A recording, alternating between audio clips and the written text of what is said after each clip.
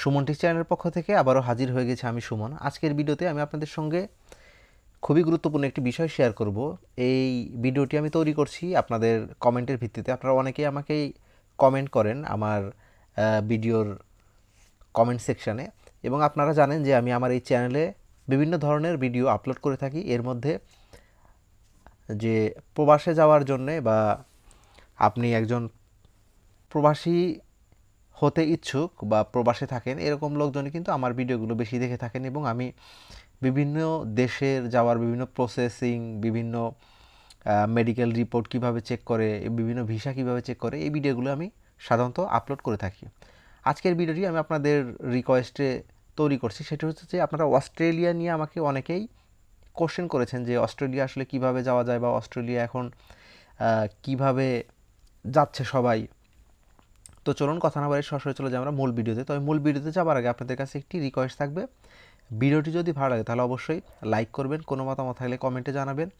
এবং আপনি যদি আমার চ্যানেল নতুন হয়ে থাকেন তাহলে অবশ্যই চ্যানেলটি সাবস্ক্রাইব করে পাশে থাকা বেল আইকনটি বাজিয়ে দেবেন, যেন পরবর্তীতে এরকম ইম্পর্টেন্ট ভিডিও আপলোড করার সাথে সাথে আপনি নোটিফিকেশন পেয়ে যান। আর অলরেডি যদি সাবস্ক্রাইব করে থাকেন তাহলে অসংখ্য ধন্যবাদ। তো চলুন আমি আপনাদের যে কোশ্চেন সেই কোশ্চেনে চলে যাই। সেটা হচ্ছে যে আপনারা অনেকেই আমাকে প্রশ্ন করেছেন যে অস্ট্রেলিয়ায় যে এখন বর্তমানে সবাই যাচ্ছে, এটা কীভাবে যাচ্ছে? আপনারা হর হামেশাই দেখে থাকবেন যে ফেসবুকে কিন্তু বিভিন্ন ধরনের বিজ্ঞাপন চলে আসে আমাদের সামনে। বিজ্ঞাপনগুলো এরকম হয় যে অস্ট্রেলিয়া যেতে আপনাদেরকে কোনো ধরনের স্কিল জানতে হবে না। অস্ট্রেলিয়া যেতে আপনাদের কোনো প্রকারের অগ্রিম টাকা পয়সা লাগবে না। আমি আজকের এই ভিডিওতে আপনাদের সঙ্গে আমার বাস্তব একটি অভিজ্ঞতা শেয়ার করব। এই অভিজ্ঞতাটি আমি নিজে দেখেছি এবং আমার নিজের অভিজ্ঞতা হয়েছে। সেখান থেকে আমি আপনাদের সঙ্গে এই ভিডিওটি শেয়ার করছি। আজকের যে আলোচনার মূল বিষয় সেটি এই ভিডিওর মাধ্যমে শেয়ার করছি। আমি মিরপুরে একটি অফিস দেখেছি যারা ইউরোপের বিভিন্ন কান্ট্রি নিয়ে কাজ করেছে। দীর্ঘ সাত আট মাস আমি তাদেরকে দেখেছি। তারা ইউরোপের এমন কোনো দেশ নাই যে দেশ নিয়ে তারা কাজ করে নাই। কিন্তু আলটিমেটলি দেখলাম যে আমাদের দেশে যে যে রিসেন্ট একটি ঘটনা ঘটে গেল যে সরকারের যে পরিবর্তন আসলো, তো এই পরিবর্তন আসার পরেই ওই অফিসটি বন্ধ হয়ে যায় এবং ওই অফিসে এখন তালা ঝুলছে। আসলে মূলত ওনারা ইউরোপের বিভিন্ন কান্ট্রিতে লোক নেওয়ার কথা বলে মানুষের কাছ থেকে টাকা পয়সা নিয়ে চলে গিয়েছে। এই আন্দোলন ছিল ওনাদের একটা সুযোগ আর কি। তারা এরকম একটা সময়ের অপেক্ষা করতেছিল যে এরকম কোনো সময় আসলে তারা চলে যাবে। কিন্তু আসলে তারা এমনিতেই চলে যেত। কারণ অস্ট্রেলিয়া, কানাডা, তারপর আপনার ইতালি, ফ্রান্স এরা এই সার্বিয়া, রোমানিয়া এমন কোনো দেশ নাই যে দেশের কাজ তারা করে নাই।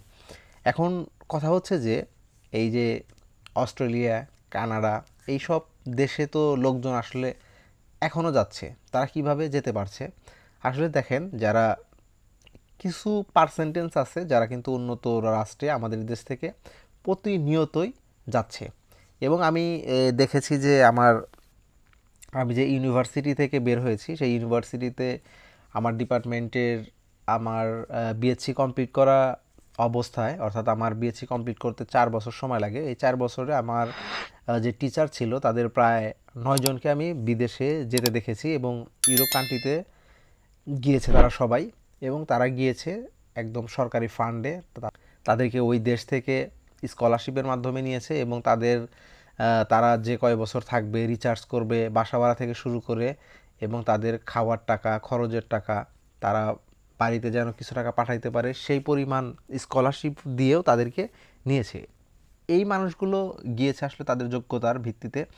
ওই দেশের যে রিসার্চ সেন্টার তাদের প্রয়োজনে এই দেশ থেকে এই যে মেধাবী যে মানুষগুলো ছিল, তাদেরকে তারা নিয়েছে। এখন আমরা যারা বিদেশে যেতে চাই, তারা কিন্তু আমাদের কোনো স্কিল নাই, আমাদের কোনো শিক্ষাগত যোগ্যতা নাই।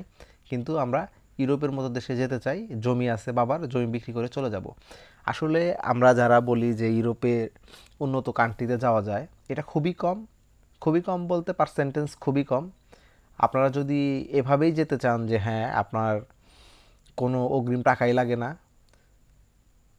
আপনাকে দেখা যাচ্ছে যে অস্ট্রেলিয়ার মতো দেশে দশ লাখ টাকায় আপনাকে নিয়ে যাচ্ছে, তাহলে ভাই এটা আপনি নিজের বিবেককে প্রশ্ন করেন যে আসলে আদৌ যাওয়া সম্ভব কি না আমাদের দেশে যারা লেবার শ্রেণির ভাইরা আছেন, তারা Malaysia, Saudi Arab, Kuwait, Dubai, Qatar Brunei, বিভিন্ন ধরনের কান্ট্রি আছে যে কান্ট্রিগুলোতে আপনারা যেতে পারবেন। কিন্তু ইউরোপের মতো দেশে যদি আপনারা যেতে চান, তাহলে এটা বোকামি ছাড়া আর কোনো কিছুই না। প্রথমে আপনাদেরকে বলবে, কোনো টাকাই লাগবে না। কিছুদিন পরে কোনো একটা ডকুমেন্টস ধরিয়ে দিবে। দেওয়ার পরে আপনাকে বলবে যে আপনার এখন এক লাখ টাকা দিতে হবে বা দুই লাখ টাকা দিতে হবে। এরপরে আবার আপনাকে তিন মাস পরে আবার একটা ডকুমেন্ট দিয়ে বলবে যে আপনাকে আবার এক লাখ দেড় লাখ বা দুই লাখ টাকা দিতে হবে। এভাবে আসলে তারা প্রতারণা করে থাকে। এরপরে দেখা যায় তাদের অফিসার খুঁজে পাওয়া যায় না।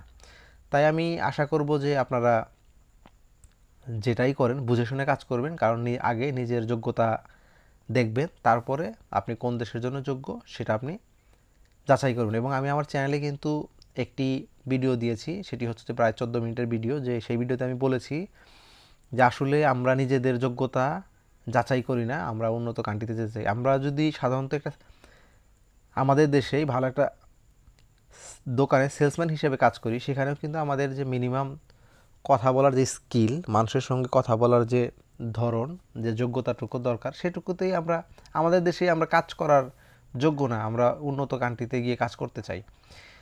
তো আসলে আপনারা বুঝে শুনে কাজ করবেন। আসলে অস্ট্রেলিয়া, কানাডা, এইসব কান্ট্রিতে আমার আপনার মতো অশিক্ষিত মানুষের যাওয়ার সুযোগ নাই ভাই। আর গেলে কীভাবে যাবেন? আপনারাই জানেন, আমি জানি না।